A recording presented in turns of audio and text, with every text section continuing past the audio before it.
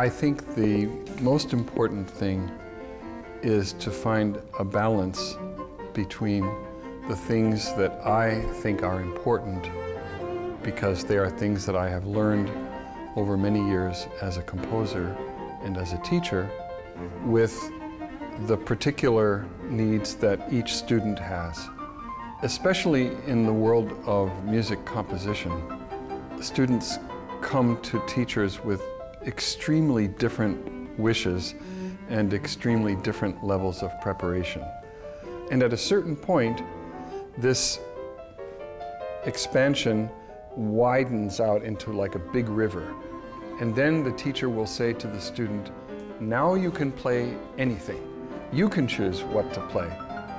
But with composing, it's much more complicated because first of all, we have many different kinds of music.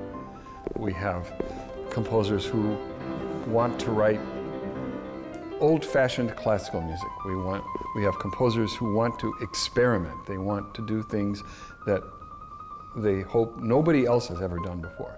If I look at all of the students who come to me and I say, okay, now you do this and you do this, and little by little you get to a point, and then I say, now you can compose any music you want. No, that's wrong. It's a balance between what I think is important and what the student wants to do.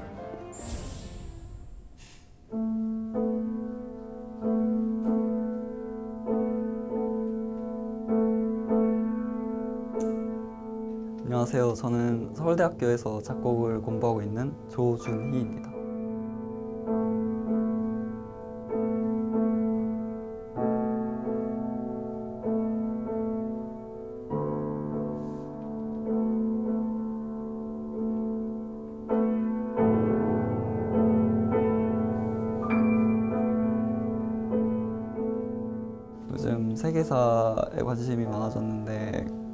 사람들은 신과의 합의를 위해서 소의 가죽을 산채로 찢고 피를 마신다고 해요. 그래서 그런 어떤 황홀경적인 경험의 매력을 느껴서 그 매력에 대한 저 나름의 정치를 곡으로 표현하고 그 표현한 곡을 전혀 다른 삶을 살아온 교수님과 한번 나누어 보고 싶어서 이렇게 공유를 하게 됐습니다.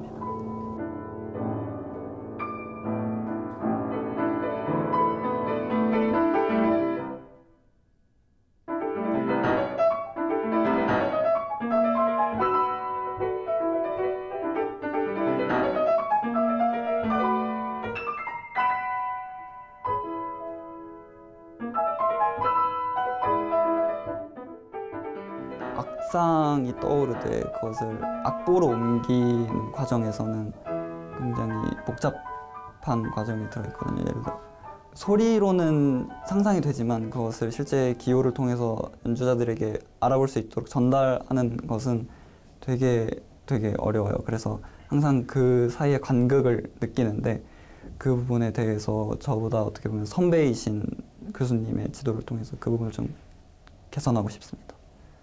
Okay, bravo. Really good.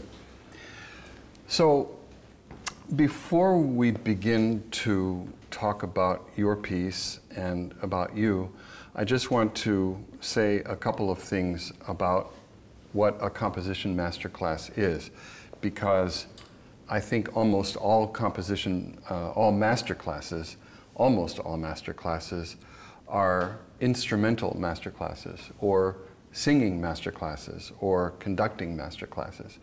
And one thing that all of those master classes have in common is that the person who is the subject of the master class, the student, is playing something or singing something or conducting something, making live music. But a composition master class is very different because it's a master class about the music itself not about playing it, not about singing it, not about conducting it, but about composing it.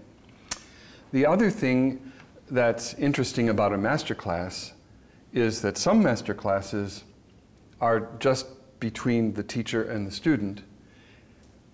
Other master classes are really about what the teacher has to say about that student, but really the master class is for the whole audience, for everybody who's in the room. What I would like to do now is to talk to you as if there were many, many other composers in the room. Ah. And the things that I want to say to you are things that might be useful for lots of composers, even though the only person who composed this piece is you. So let me start by asking you a few questions so that I understand better what this piece is. So, of course, it's quite a short piece, and it has a name. The name is Ecstasy. And that word, ecstasy, describes an emotion, right? Yeah. Extremely happy, Yeah. right? But it doesn't describe a type of piece, such as impromptu, or etude, or sonata, or symphony. If you wrote a piece, and, or prelude, if you wrote a piece and you called it Prelude Number One, then I would immediately connect it to Chopin preludes. And Chopin preludes are short pieces. Right. But if you said piano sonata number 73, then I would say, hmm, piano sonata. It's a little bit small for a piano sonata. In other words, I would have something to compare it to. But the name of this piece is Ecstasy. So I don't really understand yet, but I hope you will tell me, whether this piece is meant to be by itself, just one small piece, or maybe is this piece one piece out of a collection or set of pieces. So tell me what you think right now. Do you think this piece is by itself, or is it going to be part of a group of pieces? If I compose more short piano solo piece, then the this piece name maybe Istosh or some emotion languages, but not yet. Okay. I tell you, I'll tell you why I'm asking this question. Because it matters as far as the length of the piece and also the structure of the piece. If, let us take, for example, Schubert impromptus. Are you familiar with Schubert impromptus? Okay. So those pieces can be played as a set of pieces, or they can be played each one separately. Hmm. If I were playing a piano recital and I would like to play a Schubert impromptu, I might just play one, or maybe two, not all of them. Uh, and if I wanted to play one or two, then I could put other pieces by Stravinsky, Bartok, Bach, Brahms. And one Schubert impromptu would seem enough because the Schubert impromptus are not short pieces. But if I wanted to play a piano recital and I wanted to play a Chopin prelude, I wouldn't play just one because they're too short. I would have to play at least maybe three or four or five, or maybe I play all of them, all 24 of them. Because one by itself just doesn't feel satisfying. It's not a musically satisfying experience. But more than that, it's just not really a good way to present that music because those pieces are meant to be played as a group. That's why I'm asking about your piece. Uh, because if you're thinking about it as a complete work that should be played by itself and not with perhaps three or four other pieces of similar length, different music, different style, different material, maybe very slow, maybe very contrapuntal, but nevertheless part of a group, then I would say this piece is really good in terms of this size. But if you think that this piece stands by itself, then I think this piece is too short. Hmm. Because it do, the material in this piece is not developed very much. I agree about that. Yeah. Another a good example of a composer who wrote a lot of piano pieces, and I am sure you know this composer because your piece reminds me of it, is Scriabin. Hmm. You like Scriabin, don't you? Yeah, my Yeah. one of my favorite. Of course. I never met you until this morning, but I know that that's true because this piece tells me that you love Scriabin. Hmm. And Scriabin wrote long pieces like the piano sonatas, and he also wrote very short pieces like the preludes of Scriabin, very short. even shorter than your piece. So when we talk about those kinds of pieces, like the Scriabin preludes or the Chopin preludes, and there are many other collections of very short pieces, we don't really worry about the idea of development because development is not the point of those pieces. Mm. Those pieces are like bursts of energy, mm. very fast bursts of intense energy, and we are only a little bit familiar with the music and comfortable with where it's going, and then it's over, finished. That's a little bit shocking, but that's the nature of that kind of piece. That kind of piece is supposed to be like that. Like you open up a door and you see a beautiful world, but then it shuts almost immediately. That's a very powerful way of making music. But then, as I said, there's also another way, like the Scriabin sonatas, like the ninth. Do you know the ninth sonata? Yes. You remember how it begins? Dee da dee da. It, it's a very mysterious, like you wrote in your score, grave misterioso. That piece is also very mysterious. And it, it really only has two ideas. Dee da dee da dee, and then da da da da da ba da. Only two little ideas, but he really develops them over the course of this sonata. He needs to develop that material. His idea for this piece is that it's not a short piece, that it's a long piece. But he uses very similar musical ideas in the preludes, but he doesn't develop them because he doesn't need to. So all of what I'm trying to say is it's necessary for you to decide. Mm. Decide. How does this piece work? Is it one complete piece mm. or is it a small piece that's part of a collection of pieces, maybe six pieces? Mm. Because then you understand whether or not you should develop your material. You don't need to decide right now. However, you do need to decide. You must decide. Because if this is not supposed to be one piece out of a group of pieces, then you must do more. 음. It's, it doesn't work by itself like this.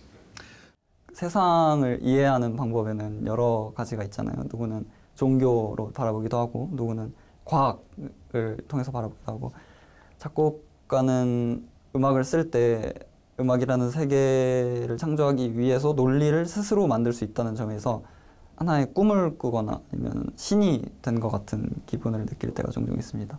그런 부분에서 되게 흥미를 느끼지 않나 싶습니다.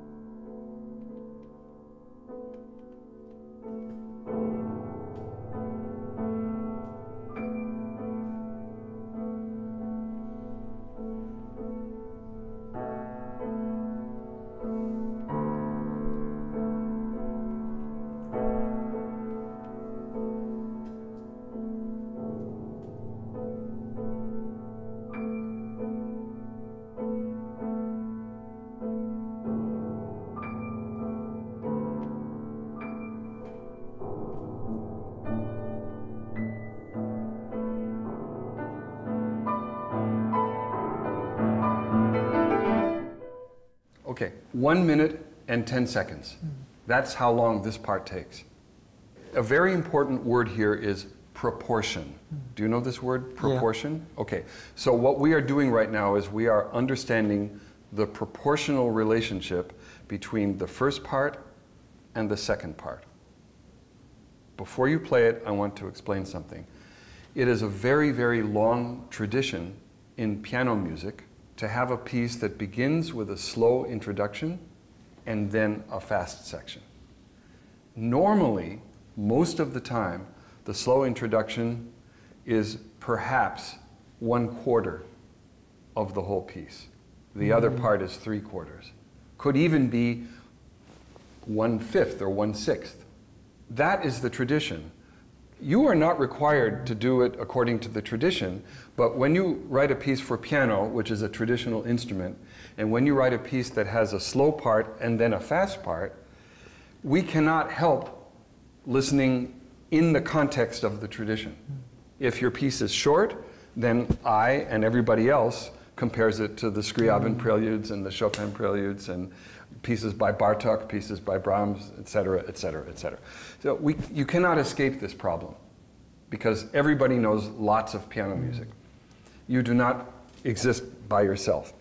So if you could please uh, play the rest of the piece, and I want to see how long that takes. Okay? Okay. Go ahead.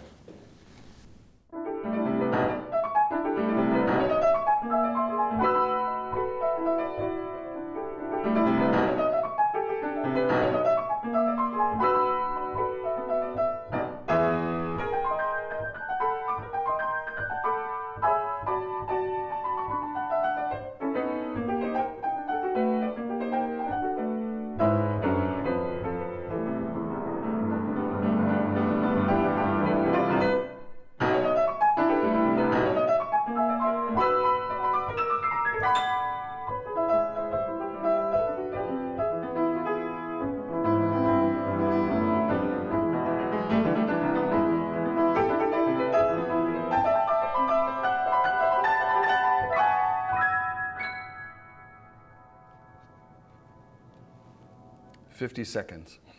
okay, so it is a little bit strange that the fast music is shorter than the slow music.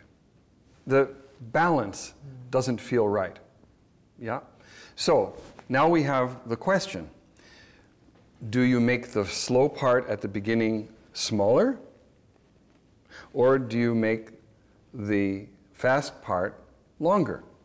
Another possibility is to make it a three part form in which the fast music stops and then we have slow mm-hmm. music again. Of course, that's possible. We could even add new material and make it into a five part form or seven or something else. But I'm not convinced right now the way it is, and I know that you're not even sure if the piece is finished. It's complete, right? You're not sure yet. Yeah. You just finished this yesterday or maybe the day Yeah. before. Yeah. So you, you don't really have uh, a, a clear understanding of the complete piece yet. I would like to tell you why I think that the fast section should be longer than the first slow section. Because it's about energy. When the fast music begins, it immediately works on a completely different level of energy. And this energy continues to build as the, the music continues. This energy reaches at some point a place where it needs to be released. And there are many different ways as composers that we have to release this kind of energy. We can play even faster music that gets even louder and even faster and even more difficult to play, like fireworks that are going off in the sky. But it takes some time to develop that energy. Or we can cut it off like that and then, now what? Now, now what do we do? And then start something completely different. That's another way of releasing that energy. But the way you, you have left me with this piece is you have given me this energy and I'm all excited. And yeah, ecstasy, for sure. Very good, ecstasy, yeah? But I'm like this, you know, I, now I need, I need something to release the energy, something. And the ending of the piece doesn't really do that yet. What do you think? Do you, do you agree with me about that? Yeah, I agree. Yeah. about that. So let me ask you I know that you haven't really finished the piece yet, but I'm going to ask you if you could try to keep playing the piece some more now, improvise. Mm. Can you do that? Yeah, sure. All right. So why don't you start again from the beginning of the fast music, from you know where, where the fast music begins, and see if you can find a way of releasing the energy mm. For me. Okay? Try. 섬세함이라고 말하고 싶어요. 되게 단점이자 장점인데 어떤 성부나 어떤 음영이나 이런 거 하나하나에도 좀 집착하는 경향이 조금 있는 것 같습니다.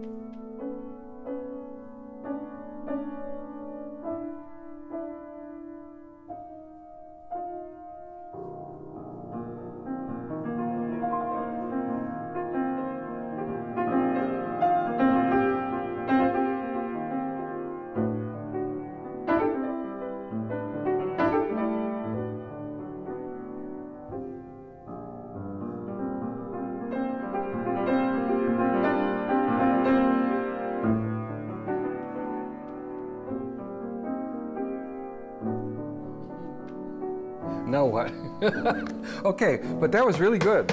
Bravo. All right. Appreciate it. Good. Yeah. So I understand your strategy. Your strategy is okay, this music, this movement, music, put it together. Okay, that's a good strategy. Very good strategy. So the the problem that you have to solve with this strategy is how to manage the slow music and the fast music together. And you've created this very interesting idea where the, there's almost they're happening at the same time. The slow music continues, and then we have these little moments Yeah, of exactly. Yeah, it's good. It works perfectly well with your piece. Okay, when you uh, modulated up a half step, I I wanted to stop you because I wanted to say, oh, wait, whoa, whoa, now we're talking about a much bigger piece.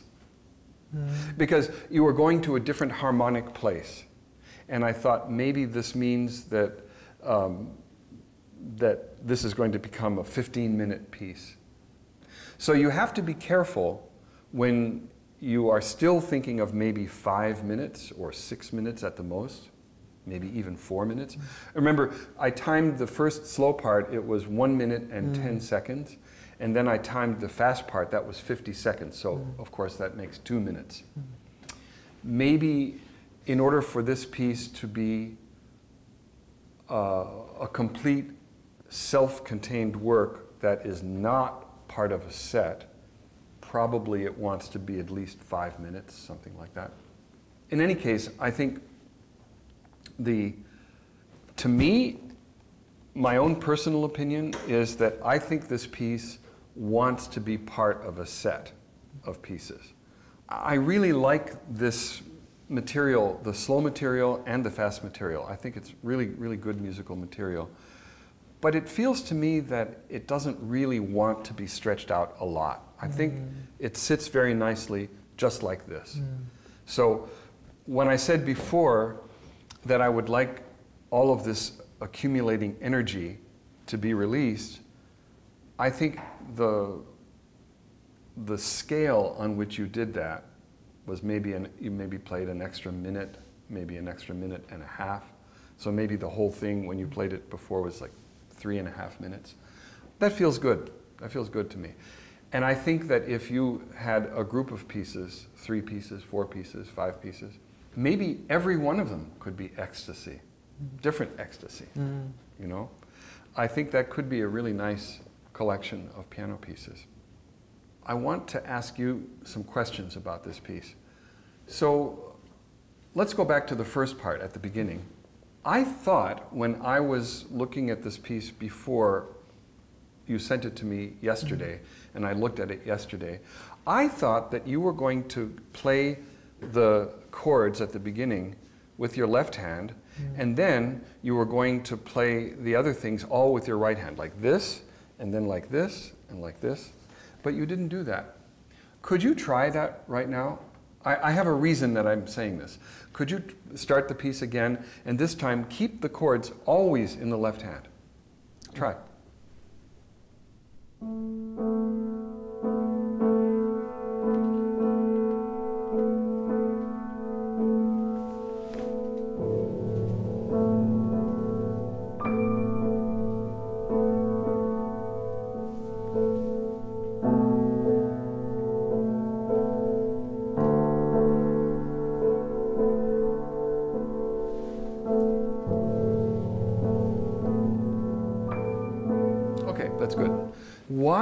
Think I asked you to do that? When I played that right hand, Mhm. it should more position moving. But when I played left hand, it ever less position moving. So I guess you play always left hand. Exactly. Exactly right. I said to you a little while ago that I really like this material. I like it a lot. I think it's really beautiful. Both the slow stuff and the fast stuff. It's both of them really good. The reason I like this slow material so much is because of the, the sound of this chord, la, si, la, si. It's very beautiful and it's very still. It's very like calm. Mm. But the rhythm is not exactly predictable. It is a pattern. I looked at it for a couple of minutes to say to myself, okay, is this a pattern or is this not a pattern? Yes, it is. It is a pattern. You have these three bars of 6 8, and then you have one bar of 5 8. And the rhythmic pattern is clear. But it's not dum, da, dum, da, dum, da, dum. It's longer than that Yeah. and more interesting than that. So we have this very interesting balance between, on one hand, we just have the same notes, dum, dum, dum, dum, but we have, uh, we have the same color, but we have a slightly less predictable rhythm. And that creates a really, really, really good balance. To me, it's very important that that sound is always exactly the same. So that when you're constantly doing this, it makes it harder to do that. Yeah. And I don't see why you should make it harder. And you can easily reach down here mm. and reach up here, no problem at all. Mm. Also, it helps to clarify the idea of two things going on at the same time. We have dum, dum, dum, and then we have this, and then we have this, and we have this, and so on. Just put it in the score so it's very clear that this is always in the left hand. Or you could put LH sempre, hmm. and then it's clear Yeah. you know.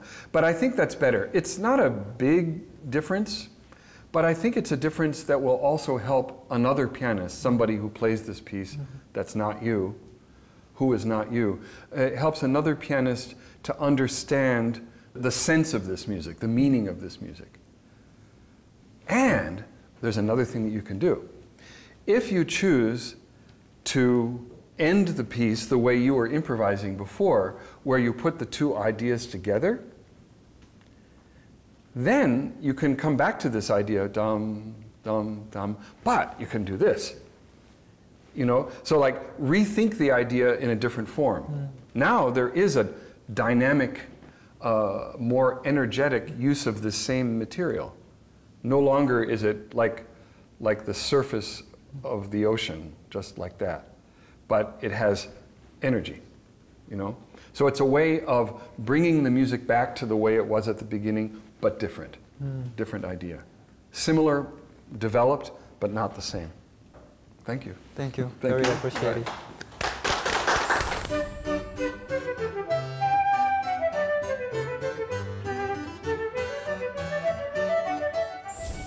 We are, are here to talk about a piano piece by Jun Hyuk Park.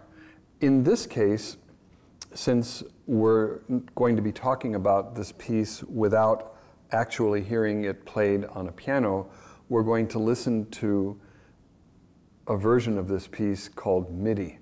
It's important to keep in mind that MIDI is good in some ways and really bad in other ways. What's good about it is that it gives you exactly the right notes, can never play a wrong note, like human beings can play wrong notes, can never play a wrong note. It gives you the correct rhythms, it gives you the correct tempo. But that's all that's good about MIDI. Everything else about MIDI is really bad because it is not human, so there is no expressive character in the music. There is no human understanding of the music. It's very, very stiff. So we're going to listen first to the uh, MIDI performance of this piece, interpretation of this piece, which is called Impromptu. So let's listen to it.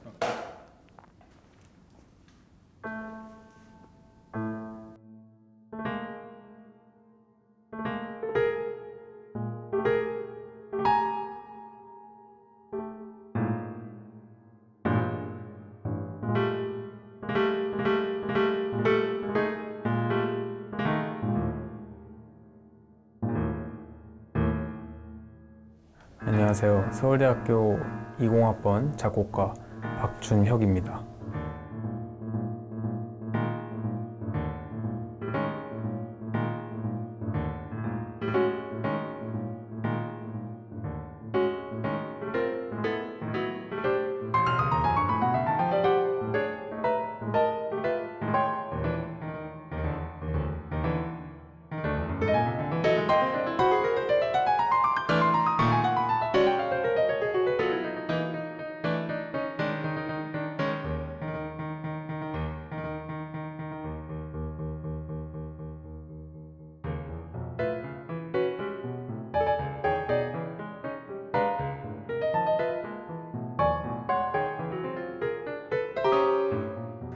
곡의 제목과 마찬가지로 최소한의 음악적 아이디어를 가지고 이제 마치 마인드맵 하듯이 거기서부터 파생된 여러 가지 뭐 음악적 뭐 현상들이나 그런 무브먼트들을 굉장히 즉흥적으로 한번 전개해 나간 곡입니다.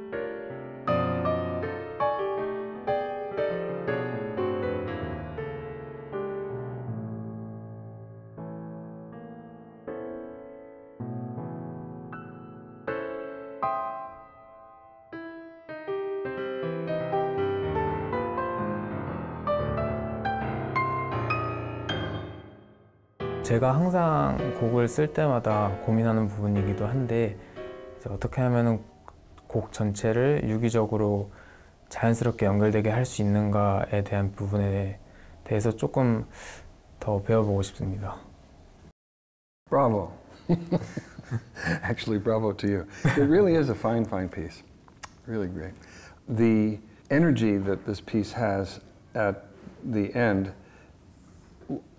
has reached a, a kind of, of level of climax that I think most composers would take these, these last few bars and make the ending a big ball of fire. but you didn't do that. You did right. something, I release it. yeah, you release it, but you release it very quickly. Right. Just, uh, can you actually, can we just play the last 10 seconds of it? Okay.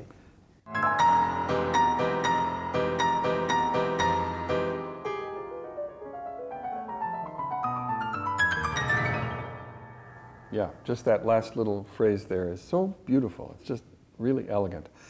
I actually have worked with many, many composers uh, over my lifetime, and I have said actually quite a lot of times in situations similar to this one, do you really have to do it the way everybody else does it? Do you really have to end with a big chord? I mean, it's a, a little bit predictable, right? Yeah, How about something else? And you did it. That's great. It's really good. So, yeah, I like this piece a lot. I'd like to go back to the beginning um, for two reasons. The first is to talk about the title. And so let me ask you tell me what the word impromptu means to you in this piece. Actually, there's no specific things that I want to show in this in this music through this music, and actually I I try to use very many musical um, moments or musical phenomena from the very very minimum musical idea. I use it very. I started with a very small idea, and I uh, expanded that idea very various parts of the musical materials. This progress was very seems like improvisations to me, so I put the title like that. Good. That makes perfect sense. The word impromptu is a word that I have heard since I was a little boy because I took piano lessons from a very young age. I'm not even sure what language it comes from. We, we use it in English, Right. but it's not originally an English word. It could be an Italian word, but I'm not actually sure. However, it is a word that has a Latin uh, basis, a Latin root, and it is connected, I think, to improvisation. Yeah, right. I think you're right. And even if that isn't technically where the word comes from, the common meaning of impromptu is exactly as you say, like unexpected, improvised, uh, not planned. And so when I was listening to this piece this last time and thinking about it in the context of the title, I was asking myself, does it actually present itself to me, the listener, as something in which there are unpredictable things? In a way, easier for me to see that than it is for you, even though you know this piece far better than I do, because none of it is an accident or an improvisation for you because you wrote it all. Yeah, right. But I am in a position, like everybody else, to actually react to whether it does sound like, instead of going like this, it actually goes like this. And in fact, I think it does do that. Uh, the piece begins in a way which, as you said, you're using a minimal idea, Yeah, right. meaning just it it starts with one idea and there's really nothing else for quite a while. Mm-hmm. The whole first page of the piece is that way, and it's not until we get to the third bar on page two where we have anything other than that first idea. And then we have four more bars of the first idea, and then we have a development of that second idea, and then back to the first idea, and that's really the whole first section of the piece. Yeah, right. And then at letter B on the third page, we begin something that apparently is new, but it's actually built out of the same material that you already yeah, right. started with. That's right. So it's um, a very economic use of material. Mm-hmm. That by itself contradicts the idea of impromptu, right? Mm-hmm. Because it seems like the whole piece is unfolding in a very logical way from just right. one or maybe two ideas. Before we go any farther, though, I want to ask you whether this piece feels like it's a complete self-contained piece or whether it is maybe part of a, a set in the future. What I think think? this is the single piece for this. Yeah. Only this. Yeah, I, I think that makes sense. Okay, so we were talking about this piece before this master class, and what I was asking you about is these little things that, uh, that happen all over the place in the first part, where you have two repeated notes. And sometimes you can play the repeated notes with two hands, like this, but other times you're forced, because of what's going on in the music, to play the repeated notes with one hand. And the problem is that at this tempo, quarter note equals more or less 120, when you have two notes to be played by the same hand repeated, like da da, you can't really play it at this tempo. Or maybe you almost can, but if you do, just because of the way the human muscles work and the hand and the way the piano works, it has to be loud. Mm-hmm. There's just no choice. It has to be loud. But in your piece, sometimes you don't want it loud, you want it soft. But that's really hard to do. So we were talking about this, and I said, Would you consider having the tempo a little bit slower? Yeah, right. Because if the tempo is a little bit slower, then you can do that. So I asked you if you could re or ask the computer to re-record it at a slightly slower tempo, and then we could see how that sounds. Uh, let's start maybe just the first I don't know 20 seconds of the 120 again, just so that so that the people who are watching this master class can can hear how you originally wanted it. 제 장점이자 단점이 될 수 있겠는데 아이디어가 좀 풍부하다는 거, 그러니까 상, 생각이 좀 많다는 건데 이제 그게 그거 자체로는 굉장히 좋은 장점이지만 이제 반대로는 곡을 하나 완성시키는 데에서는 최소한의 아이디어를 가지고 그거를 이제 조리 있게 이제 풀어내야 되는 경우가 많아서 항상 제가 곡을 써가면 제가 사용한 아이디어들을 좀 소거하라는 피드백을 많이 받는 것 같습니다.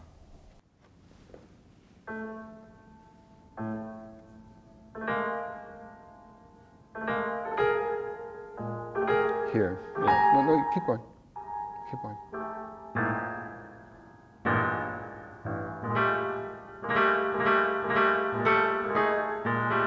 Okay. So we can hear that, um, I hope you could hear that there are all these places where you have dagara. And the daga is two notes played by one hand, by the left hand. But at the very beginning, it's just da-da with one hand, or I'm sorry, one note with two hands, one after the other. Da, da, da, or da, da, da. And because of, as I say, because of the way the human hand and the muscles and the piano are, you really are forced to doing that forte. So I said, what happens if we take it a little slower? And so you re-recorded it at 100. Let's hear how that sounds.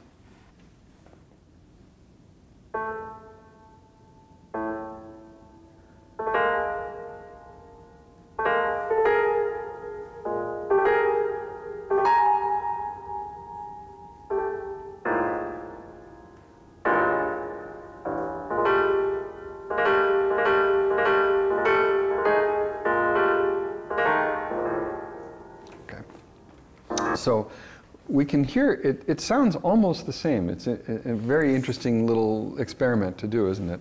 It's close enough that I think we both agreed that it's okay, yeah. right? But the problem is that maybe the, not all of the rest of the piece is okay at this tempo. That's what I was saying to you before. So let's find a place where Okay, let's take the second section. Good, perfect.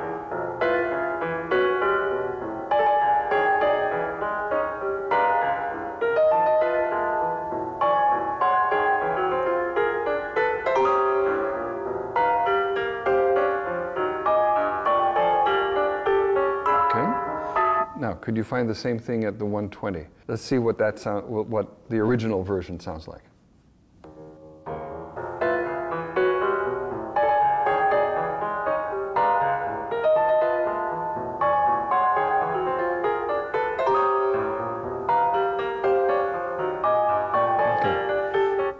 We get into a really interesting question because music is an art, it's not a science.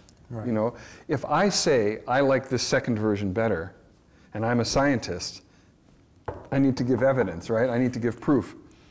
But if I'm an artist, I just have to say I like it better, and you can't tell me I'm wrong. You can tell me you don't agree with me, but you can't tell me I'm wrong. I like it better at the faster speed. Hmm. what do you think? I think so too. You think so too? Yeah. To me, the B section in the original tempo of 120 sounds like there's energy. In the at, at 100, it feels like mm, mm, mm, mm. it's like how much of this do we have to hear? You know, it doesn't feel like it's moving forward. It is moving forward, but maybe not enough. Do you have an idea for how you could somehow manage to get the best of both things? I thought that um, keep the tempo in 120 and how about write these the repeating notes as uh, mm, some kind of acciaccatura Mm. like the slashed notes Yeah. and I think that the, the player doesn't have to be very strict via the, this rhythm. They can also recognize that notes should be very short. So I can, the player could choose the length of the notes very freely. Right. So I can, yeah. Yeah, especially when the repeated notes are not forte, when they're piano. Yeah, right. So they might need to be just a tiny little bit slower. Mm-hmm. I, I think that's perfect. I love your idea. I had a different idea, mm-hmm. but actually, now that you say what you think, I think I like your idea better. But here's what I thought uh, when I was thinking about is there a solution to this problem? And I thought, well, maybe the solution is just before the second section begins, those low D sharp repeating notes, you make a little bit of a retardando, mm-hmm.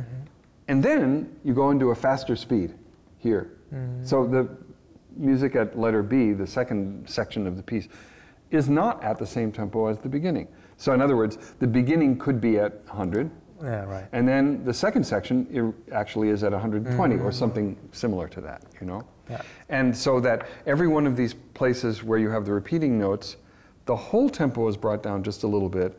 And then when you have the driving, forward looking, forward motion eighth notes, which really, they just feel better at a faster speed, they are at a faster speed.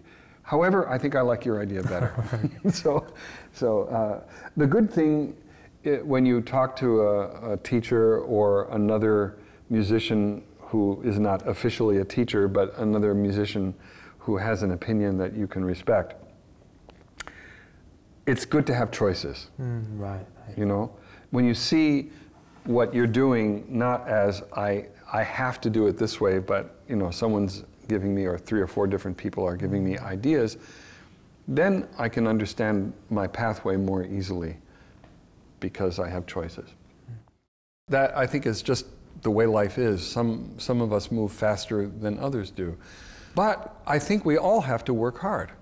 You know, just because some people are faster doesn't mean that they don't have to work hard.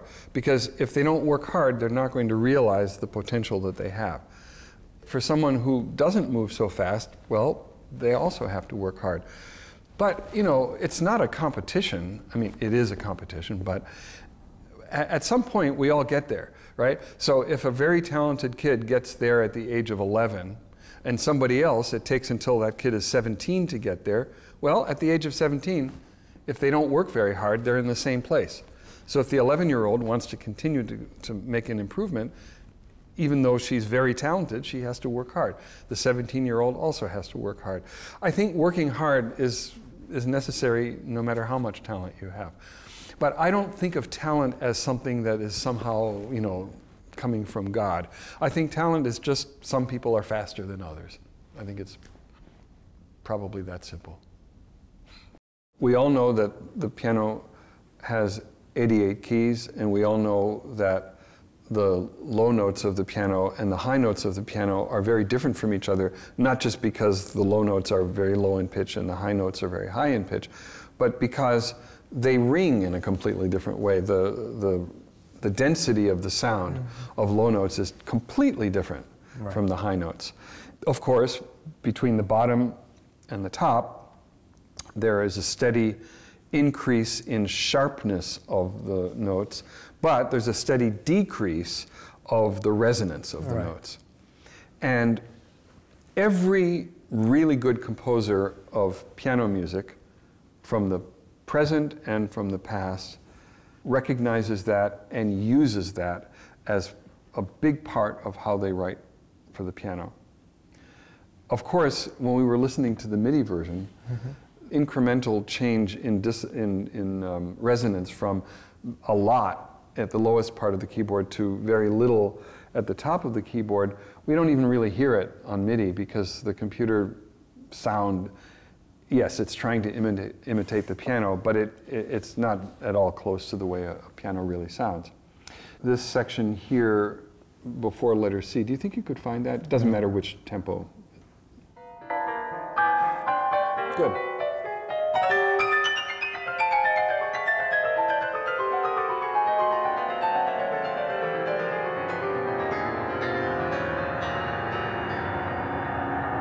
This density sound, yeah.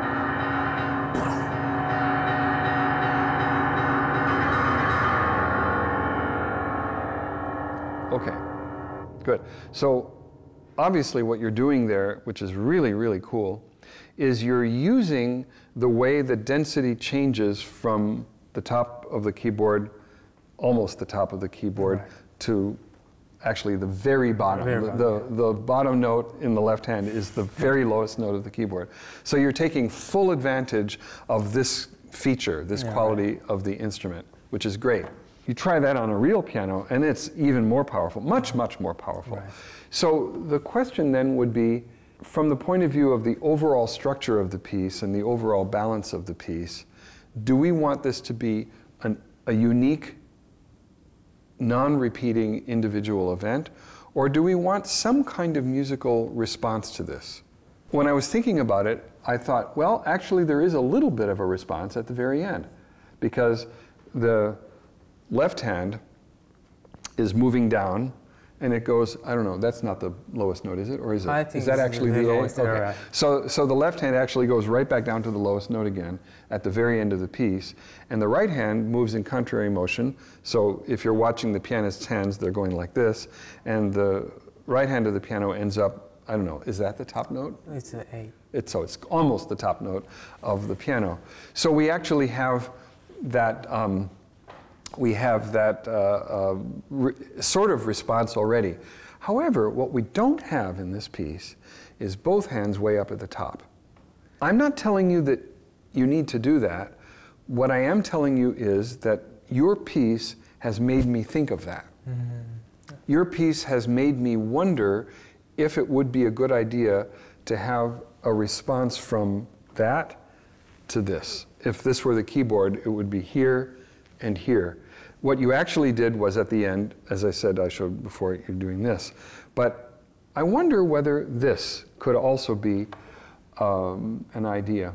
It could be an idea, especially if you were thinking at all of expanding this piece.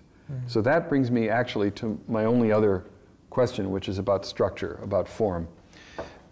Do you feel satisfied that this piece structurally is in a good place? Or are you still wondering whether maybe it could have some real changes in it? I'm not talking about a note change or a little rhythm change, but actually like Well, a- an additional cha- an additional section uh-huh. or anything. Or do you really feel satisfied with it the way it is? The last section must be a little bit longer than this original version. Thank you. Exactly what I was thinking. We are in 100% agreement. I think the last section needs a little bit more. Yeah, right. Yeah.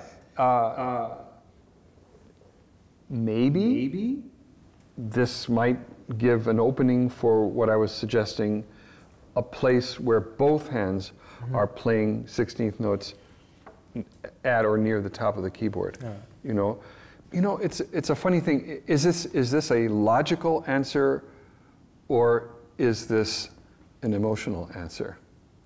And that gets back to the question that we were talking about before, Okay. which is the question that you asked me about the relationship between emotion and logic in composing.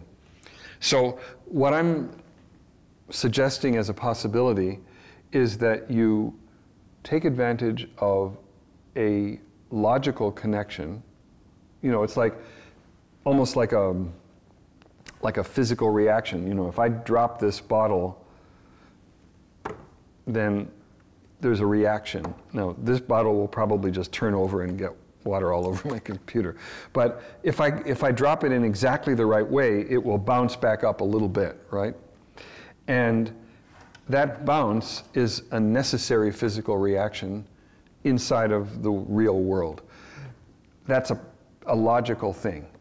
And scientists from a long time ago figured out exactly what should happen if I drop this bottle perfectly so that it comes up. They, some scientists could tell me exactly how high it's going to go. In music, because we have an art and not a science, we don't worry about the exact calculation.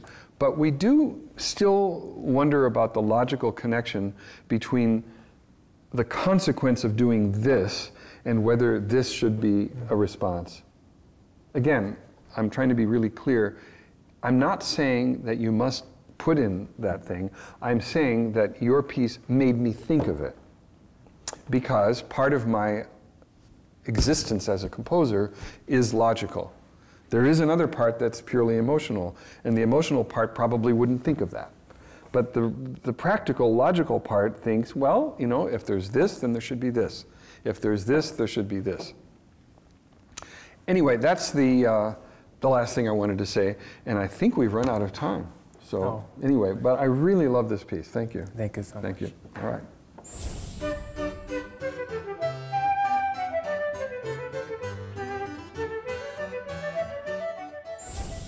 교수님께서 곡의 분량과 밸런스에 관한 이야기를 많이 해주셨는데 이게 되게 작곡을 하는 데 있어서 가장 기초적이면서 가장 핵심적인 문제 중에 하나거든요.